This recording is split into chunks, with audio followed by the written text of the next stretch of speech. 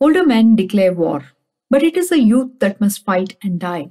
So, isn't it the duty of the youth to question or challenge the status quo? We see a teen or a young adult as a painful rebel or a boring conformist. We as adults see them as a lump of clay that needs to be sculpted as per our tastes and likings. If they are hard to sculpt, we brand them as outcasts or misfits. It is all about us adults, isn't it? But what are these young adults and teen, teens thinking?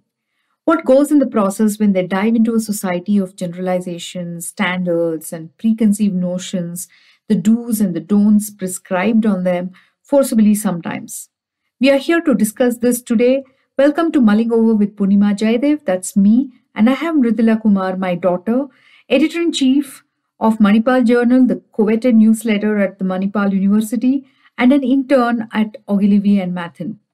She broke the parental barriers and refused to follow the road more trodden of becoming an engineer or a doctor, and took up media and communication, or more commonly known as journalism.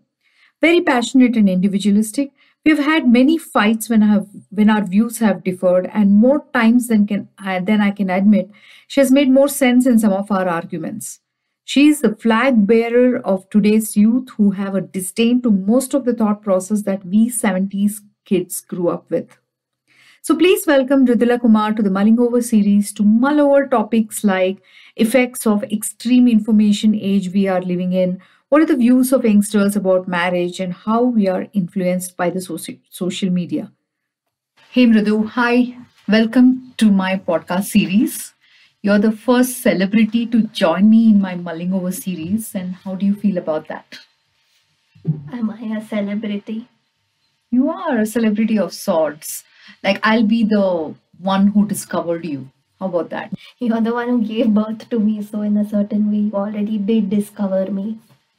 Everybody who gives birth don't discover children. You know, someday I want to take credit for introducing you to the media world.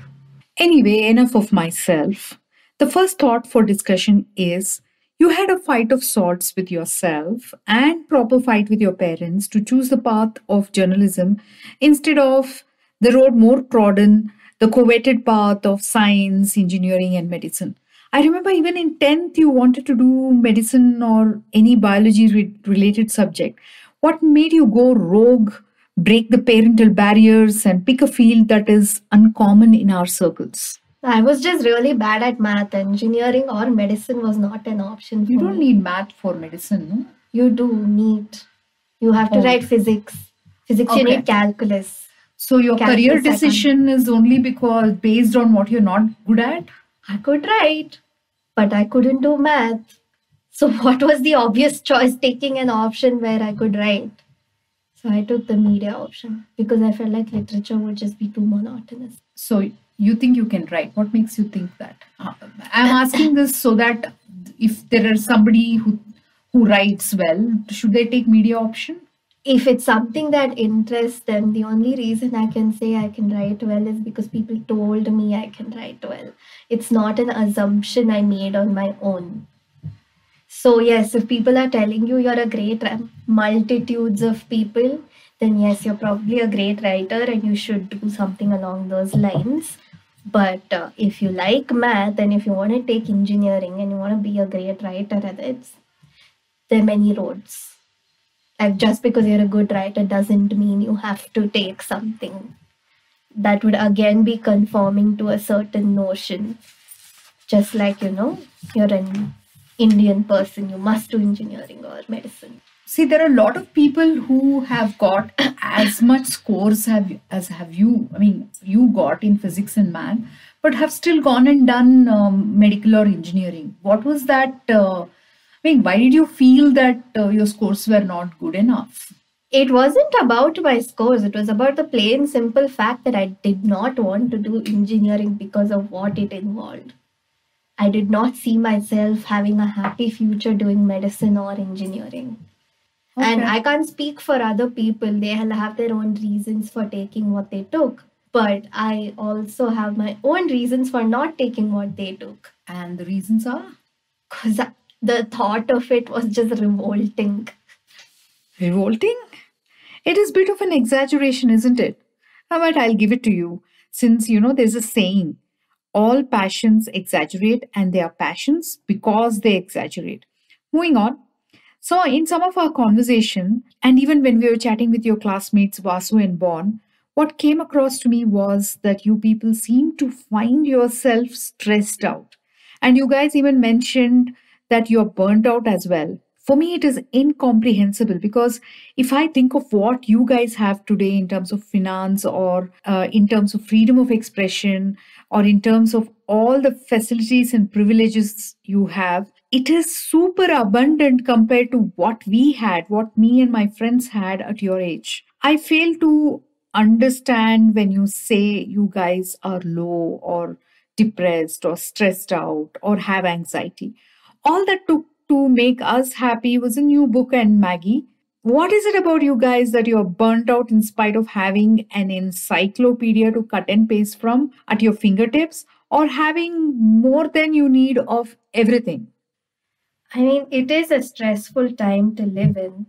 It's 2021. You Yeah, have we are not having world wars. We're or- not, but we're always we always seem to be on the very edge, and then edu- but but okay, let me explain. I don't think when the when Gen X, that's basically your generation, when they were our age, they were as aware of the world as we are. We have access, of course, like you said, we have access to so many things now. One would think it would make make us luckier. And in a certain sense, it does. You have access to information that does make you very lucky. It makes you more knowledgeable. It it opens your mind to ideas much faster than previous generations would have opened their minds to new ideas. But at the same time, being so hyper aware about things happening around us, especially because you know everyone can agree that social media does have a tendency to look at the negatives more than the positive so you don't have access to a lot of the good things happening around the world. And quite possibly the number of bad things are also like equal to or maybe more than the number of good things. And you're just always constantly hyper aware of that. And with that come like a certain set of like expectations like okay you you have to earn this much money or you're going to have a horrible life. That's been there forever but then it's it's so much more intense in this generation. Uh, you have to be doing these certain things or you're boring. You have to be doing these certain things or you're just a terrible person. So things are so much more faster now. Like everything the news cycle what is popular on social media what song you know becomes most popular. What meme becomes most popular. Things are always so constantly changing. It's hard to keep up. It's overwhelming. Who is holding you at a gunpoint to be always aware of everything that's happening in the world? I know you're a media student, but is it necessary, really necessary, to be always informed about all the negatives that are happening in the world? i'm a media student but in general it is an expectation perhaps that we've created for ourselves that we're supposed to be aware of things. Like the this idea that okay if you don't know something it should be okay to say listen i don't know enough to have an opinion or to have a comment or to have something to say or do about it. The fact that you know saying that is okay is just it's it's it's not a normalized thing yet in my generation i'm speaking specifically yeah it's just something that we're learning that it is okay to not know everything Are you basically saying that uh, since in my generation we were not born in an information age, so we were happy? See, in our generation, some of us, like me, finished graduation and somehow we happened to be in the boom side of the industry and got into a career at the uh, career at which we were not really trained like the way uh, today's engineering students come out trained. And those were the times and days when we did not even have the money to spare for extra training or skilling. but we sailed through working late nights, weekends to get a decent career map, uh, and that too all by ourselves because our parents were not very aware of IT then and would not have, or in some cases, could not have invested for our further education or skilling. But you guys don't have these disadvantages, right?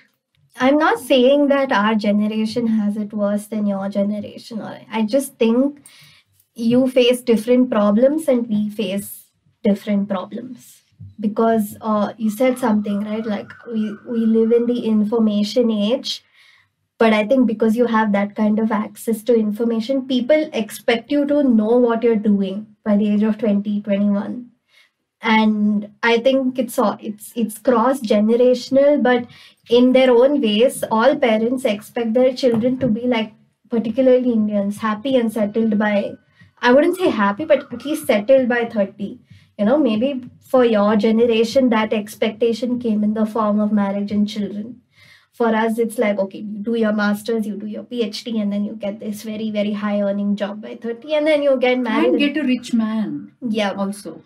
rich person let us remove the gender equation out of it i think there's plenty oh my of god.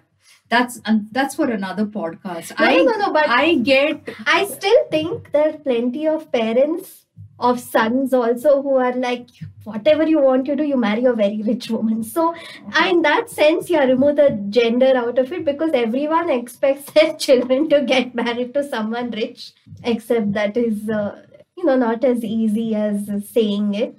Yeah, we have very, I guess you would say that we're going through this phase, this very Socratic phase of questioning everything. Okay, since you said Socrates, I should read out this quote. The quote goes like this Children, they have bad manners, contempt for authority, they show disrespect for elders, and love chatter in the place of exercise. They no longer rise when elders enter the room, they contradict their parents and tyrannize their teachers. Children are now tyrants. You may be thinking that this is a quote from a disgruntled parent or a grandparent, frustrated teacher, or just someone expressing their lack of lack of hope for the new generation. However, this was a quote made by Socrates in 470 BC. The reason I have referenced such a quote is that although it may be 2000 plus years old, it is still relevant today. Every generation since Socrates' times thinks that younger generation are lazy, rude, useless, etc. And it is clear that this misconception has always been a misconception. And even Socrates did not know that the youth that followed his times would go on to achieve great things. And what the youth of today need to do is just debunk these misconceptions, which I think every youngsters in some way or the other will keep doing in one way or the other. So, in this world where misconceptions and sweeping stereotypes are a commonplace, the responsibility of us adults is not to let young people fall into our repertoire or and allow for a happy and healthy progress of youngsters. But then the duty or the mindset of the youngsters should be to not get put down or let down by these 2000 years old misconceptions that are thrust on them and just be joyful that we are born in this glorious age of information, freedom of expression, and abundance. Why I say this is because I was reading an article about depression in teens and young adults and how it is skyrocketing as per some statistics from WHO globally and in India. One in seven teens, one in seven teens experienced mental disorder. Depression, anxiety, and behavioral disorders are among the leading causes of illness and disability among youngsters. Suicide is the fourth leading cause of death among teens and young adults. It is alarming and honestly a frustrating trend, don't you think so? Is that things like that, particularly when you talk about uh, real mental health issues that uh, kids face today, it doesn't happen in a vacuum and it's not sudden either. Like, I'll give you a various analogy, but I, I think it might fit within this context. So, basically, a lot of uh, like more conservative people tend to ask, oh autism and ADHD and this those kind of um, uh, disorders and and and syndromes um, you know every tom dick and harry has it today and you know why is it only increasing in the modern age and why is it not uh, you know why in, in the olden times there's nothing like that like no concept of autism and all. Except if you look into history you had that one really odd person who was really quiet who didn't say anything would tend to the sheep but was just like an oddity and basically i would say one thing is that in the past we did not really have the means to define these things right? Like even if you look at um, childbirth, people knew that a woman who's just given birth to a child, she would feel low and unhappy immediately after the birth. Today we call it postpartum depression, and uh, she would have, I mean, a, a, a, pers- a woman who is privileged enough does have the means to deal with it. But if you look even 50 years ago, you didn't have the con they knew that there was something that something that would go wrong with the after childbirth that would make a woman feel really low. But there was no there was no real technical or proper knowledge to define it. There was no terminology. There was no name this is reason one so people have always experienced it through the ages except there was no real definition or there was no real uh, understanding of now, how to uh, explain what I feel? Psychology is only a subject that has, you know, evolved properly in the last hundred years. Before that, I, there was no way for a person to explain how they felt for the most part. So that is one thing. The second thing is, like you said, the information age itself, right? So even if you looked 50 years ago, people had their own problems. Like you can't expect a life that's problem free when the most privileged richest person they have their own share of problems but 50 years ago um, i would say that all these issues that you're talking about they were not as aggravated or exaggerated because the world was a slower place right like i think uh, when abraham lincoln died the news reached europe in two weeks, two weeks later, when JFK died, it reached Europe almost 30 minutes later. But today, if some prominent person dies, you immediately get to know the information, and that has a consequences world over, right? Because we live in such a globalized, tiny world, like metaphorically tiny world, something that is happening thousand miles away affects us, right? If you look at all the big events, COVID, recessions, terrorist attacks someplace, you would think that okay, it's in another continent, what's it for me? But it goes mm. but it, it reaches us so much faster and more importantly, it starts it, it is currently affecting us also. Yeah, I can relate to that in 2021 during peak covid times the news around hospitals lack of beds oxygen or medicines would be so constant and so terrifying uh, or even some of the global news um, about syria or even the killing of george floyd were so gory while they are real news they're happening far away but it does affect us Exactly. Yeah. So you have access to infinite amounts of information within a much shorter period of time, right? And we haven't evolved fast enough to process information like that, right? The world is changing so fast every minute and expects there's a certain expectation that you keep up with it except for most normal human beings, that isn't exactly possible. We are still living in the Downton Abbey times. I would biologically, but then the yeah. world around us has. Yeah. Um, I, I don't know if you remember, but I had this very stupid argument with uh, Mr. Shivkumar and my father um, about how just 150 years ago, our sleep cycle was completely different. Like uh, we would sleep immediately as like as soon as it hits nighttime, like as soon as the dark the darkness comes. And we would wake up in the middle there to the point that there was even this concept in christianity called uh, you know mid sleep prayers. Even in islam. Yeah and uh, you would eat a little bit you would pray and then you would go back to sleep and wake up when the sun comes again right?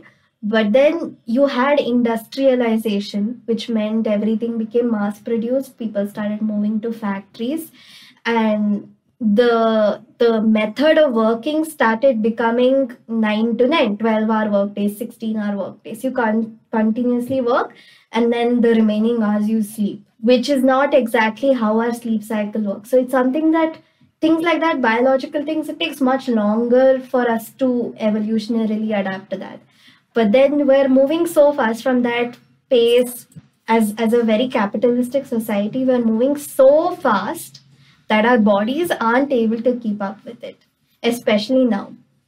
Like if you think about it, 100 years ago, we didn't even know what, that there was something smaller than the atom. And in the span of 30 years, we not only discovered a whole bunch of things inside the atom, but also we harnessed all that energy to make such destructive weapons. Destructive in, a, in the span of 30 years. But see, yes. No, but I agree with you. So so if you if you look at us our my generation the gen x that you say we have lived those changes of digital era i remember having a phone in my childhood days was uh, it's not like Telephone. a privilege it was like a huge luxury and tata bought a phone to our house and uh, we were like known um, ten streets of our house that we have a phone. From there to now, where each of us have our own phones and we can have a video chat, a lot has gone by. People my age, right? You know, something about Gen X people, we have gone through all these changes, been a part of these changes. And let's assume we joined workforce in 1990s.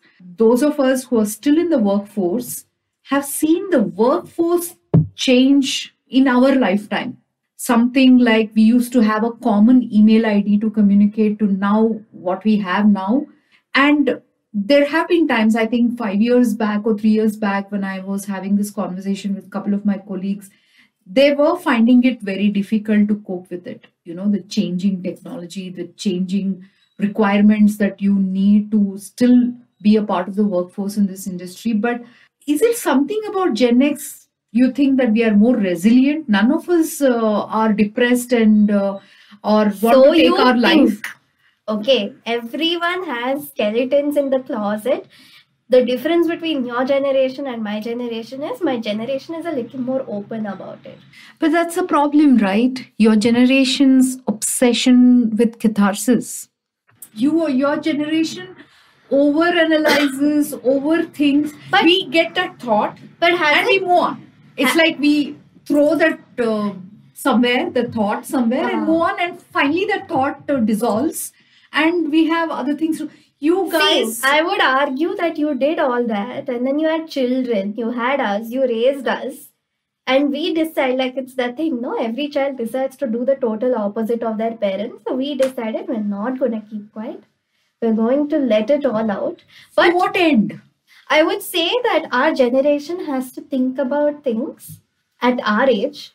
The more privileged people within your generation, urbanized working professionals within your generation, didn't have to think about at your time. I'm not like saying you didn't have your own set of problems and all, but I think this is also one of our problems. Like we, I wouldn't say that uh, we had, uh, we did not have problems or had problems. We did not think too much about it in the sense like i know a friend was in her final year and uh, she wanted to do a lot of things like she wanted to do her masters and and all that stuff but her parents wanted to get her married probably it is a woman thing also i'm not too sure she got married and she did not mope about it she jumped into her married life with all the zeal. She had her two children, and uh, then she got herself trained and she went back to work, and now she's still working and she's doing good. But uh, at that time, while your generation, the way you would make out of it is that girl is forced into marriage by her parents, and her parents are cruel, and she is. Uh, it's a sad life for her. She she didn't look at it that way. She just went into. I'm not subscribing to early marriage or anything. I'm just stating a problem that my generation had and how they faced with it. While your generation will probably write poetry about it, maybe, I don't know, or troll somebody on Twitter and get negatively affected. No, I I'll tell you why that's happening though, because all of these stories has made younger people more reluctant to the idea of marriage. I don't know if you read Malala's essay after she got married.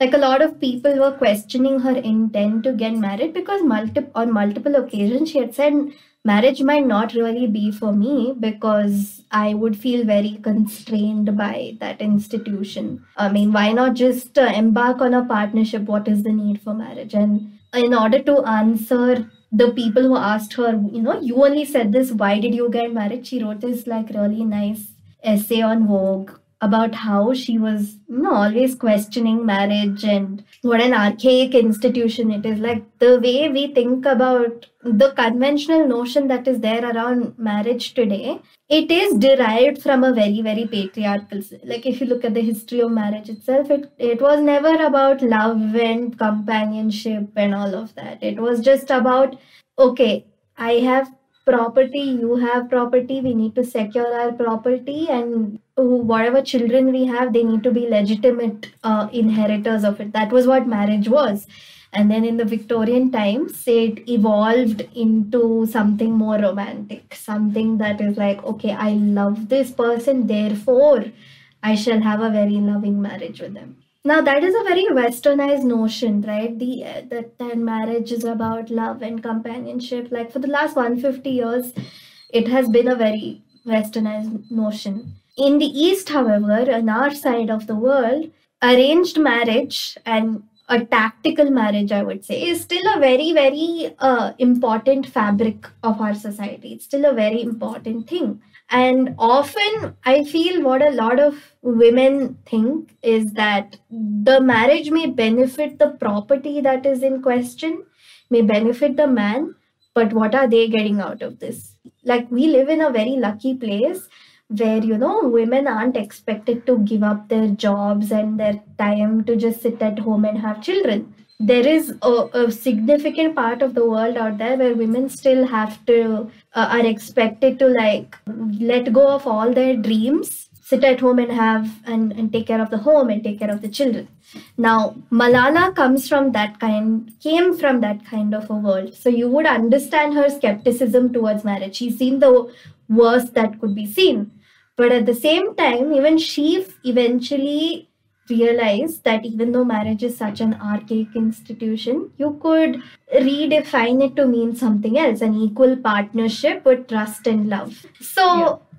She hoped for, she met her husband, she fell in love with the man, and she realized that that she could it, it's not impossible to redefine what marriage means because that's what people do all the time. Redefine what things mean to them. Like nothing is ever permanent right? It keeps changing. It's very impermanent. The meanings of things the the stories behind them everything yeah basically that's why she decided okay i'll marry this man right? Now that is something she went through very very individually if if i may say so. Like it's this whole change and realization that you know what I feel? I think this aspect of love, being in love, loving somebody and getting married to them is a scam uh, created by God or whatever, whoever, creator or our hormones, just so that we procreate and produce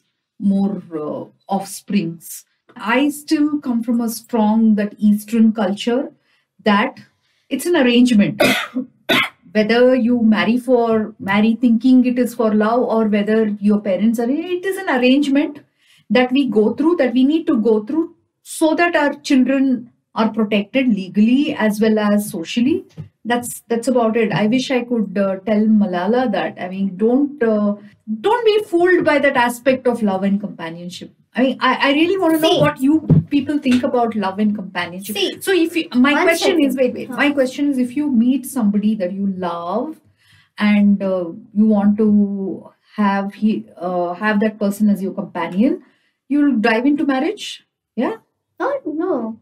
It depends. I mean, it's a very case to case thing. I don't think there should be a generalization for all relationships. Wait, and you also said one more thing? Like, marriage is basically an arrangement to ensure that your kids are taken care of or whatever, something like that.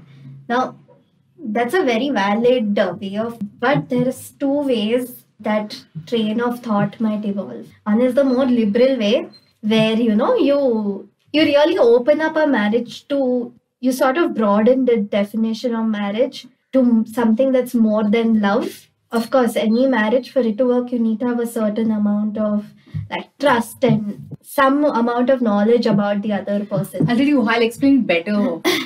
Let's say you're running an organization. You need a CEO and you need a COO. The COO has his or her, her own set of responsibilities, and so does the CEO. So marriage is like that. One is a CEO, one is a COO. You need to run an organization called the family. And there needs to be that coordination, that partnership, that trust, and there, there must be that honest relationship. It's But to think it is beyond that. the thing. That is a very 1970s definition. of Get married, Yeah. have kids.